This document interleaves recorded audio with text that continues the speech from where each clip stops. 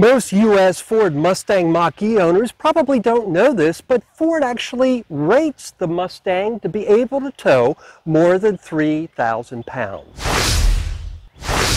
But there's a catch. That tow rating only applies in Europe, not the United States. Now, since my Mach-E is the extended range all-wheel drive version, which in Europe would qualify for the maximum tow rating, I wanted to put it to the test here in the US. I wanted to find out if it could tow this electric Zero SR/F. Now, altogether, my weight is about 1,100 pounds, give or take. This trailer is about 600 pounds, and the Zero, before accessories, is officially 498 pounds. So again, about 1,100 pounds roughly, or within five pounds of that probably. My Draw-Tite aftermarket trailer hitch has a maximum rated tongue weight of 350 pounds and a maximum gross trailer weight of 3,500 pounds. Other manufacturers also make aftermarket hitches for the U.S. Mach-E, and U-Haul lists the Mach-E for towing on its U.S. website. Now, of course, I've got to do the obvious disclaimer here. Ford has not tow rated the Mach-E here in the United States. So I cannot recommend actually towing with it. In fact, despite these official photos from Ford of Europe showing a Mach-E towing a boat, Ford specifically says not to attempt towing in its U.S. owner's manual. Regardless of how this test turns out, it's not going to really be representative of what a lot of you would experience if you tried to tow with a Mustang Mach-E because I live in Florida. It's a flat state and we rarely see temperatures below 32 degrees. In fact, today the weather is ideal for EVs. It's probably about 75 degrees out here right now. Now I am going to run the AC at a cool 70 degrees as well to go ahead and put a load on the car that way.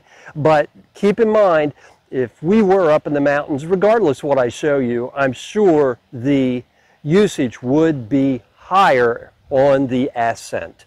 And if you were trying to tow, obviously in cold weather, you'd have to multiply that out as well. But hopefully I'll at least get an idea of what I could do range-wise in gentle conditions. Now, by the way, I'm a novice at towing, so this is in no way meant to be a towing how-to video. There are many people much more knowledgeable than me that you can watch for safety tips on how to tow. Now, one of the pain points that I am not going to be experiencing during this test is unhitching to charge because as any experienced EV owner knows, unfortunately, the way America's charging network is set up, next to no chargers have been built that are pull through. There are rare exceptions to this, but at least in the world of CCS chargers here on the East Coast, currently almost all of them are instead a pull up style charger, which means you have to, in most cases, unhitch. All right, we've hit our first secondary road. So we're finally uh, getting a little bit more speed to see how things will go. Right now I'm doing 40 miles per hour in a speed limit area of 45, but I am going the speed of traffic.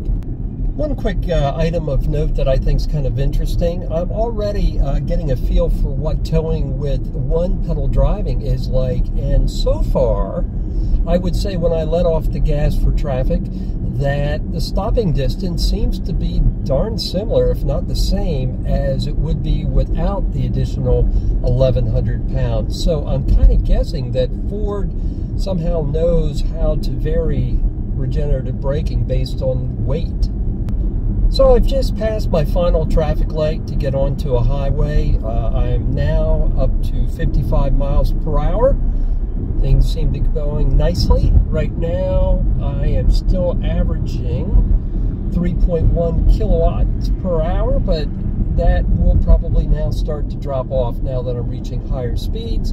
Next, I'll be getting on to Interstate 295 here in Jacksonville, which is going to have a speed limit of 65 miles per hour.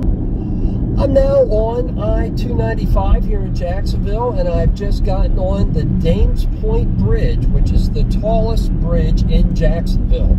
For river traffic, it's got a clearance of 175 feet, so I'm going to guess it probably has an automotive elevation of probably about 185 feet or so. So it's a fairly good climb, which you can see from the outside video to get to the top of the bridge. Uh, the trailer is tracking nicely. The car doesn't seem to be stressed in any way whatsoever. Uh, in fact, now that I'm at an interstate speed, it seems quite happy. It's just purring right along as we go up the bridge across the St. Johns River. We're going to be going by the port of Jacksonville, which uh, is a very large automotive port here on the East Coast. A lot of cars are shipped into this port, including this Ford Mustang Mach-E, which was shipped into the port of Jacksonville from its point of assembly in Mexico. So next what I'm doing, I'm getting on a small secondary road. I keep going over some railroad tracks, again, just to get a good feel for what it's like to tow a motorcycle in various conditions as best I can. And then next what I'm going to do is pull into a parking lot, which will actually be somewhat representative of what I'd be going through if I were to pull over to charge. And I won't need to do that for this trip, and I'm not going to bother with the experience of unhooking the trailer and charging and rehooking the trailer. I mean, I've got a sense of what that's going to take. But what I don't have a sense of, and I'm going to play around in this brand new shopping center that's not open yet, is what it's like to back up, to go forward and backwards and park a trailer. You know, because that's the kind of situation that I will be facing on the road. And I most likely will have to go ahead and park the darn trailer in a spot away from a charging station. So I might as well get used to the idea and see what it's like. So first off, if I'm lucky enough to be able to pull through, parking will be a breeze. I can already see that. And yeah, it's going well. Pull through parking is nice and easy. And of course, all modern vehicles have backup cameras, so I can see precisely how it's going to line up in the spot, which is very nice. So my very first parking test went absolutely fine.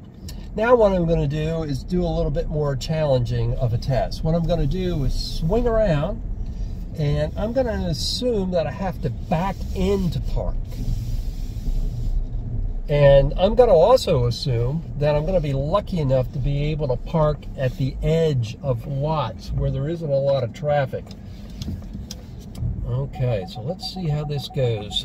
Ah, so I can see right away that I have a bit to learn about parking backup parking because the trailer didn't at all align the way I thought it would. See, I am a newbie, I am learning.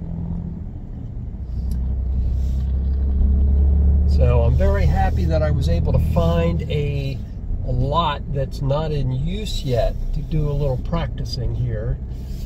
I got to tell you, much respect to truckers, much respect to people that used to tow before the days of backup cameras. I don't know how they did it. I can't imagine trying to do this without a backup camera. All right, I've completed my parking test.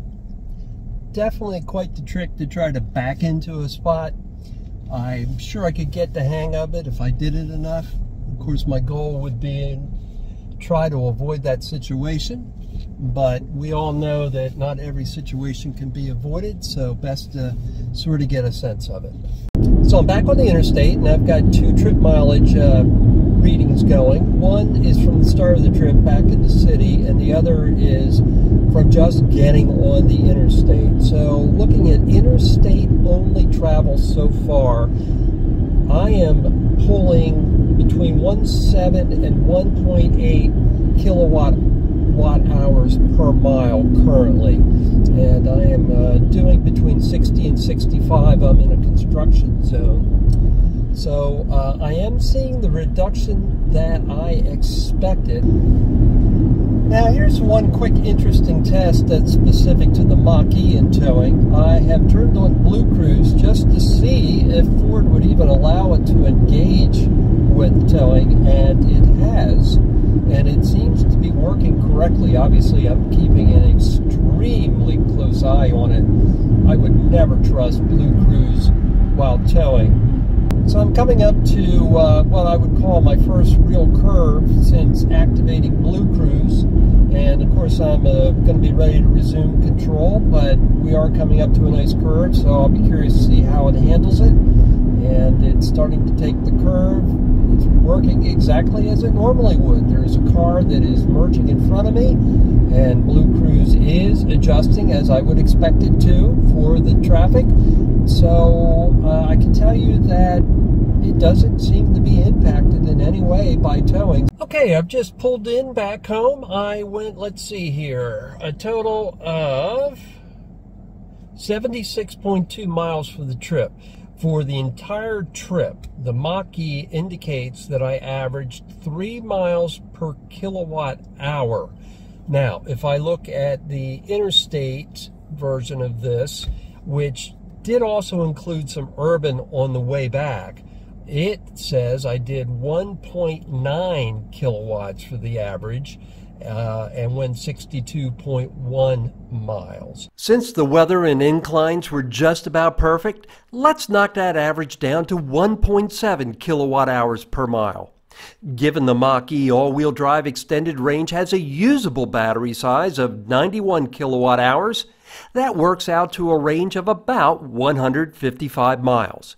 To put that in perspective, my average range without towing has been 273 miles per charge over more than 4,600 miles of driving. Now, most of us don't charge much beyond 80% after that first charge of the day when traveling, and as every EV driver knows, DC fast chargers aren't always where you want them. So personally, I'd count on looking for my next charge every 100 miles if I were towing 1,100 pounds. And that, in a nutshell, is my best guess as to why Ford didn't give the Mach-E a U.S. tow rating.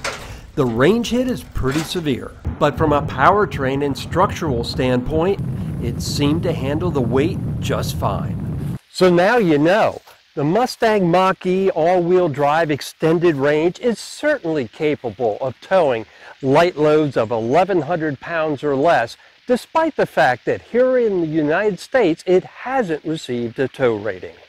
If you found this episode of EV Rider useful, I hope you'll give it a like and subscribe to my YouTube channel so I can bring you more adventures in EV motoring, whether it's cars or motorcycles.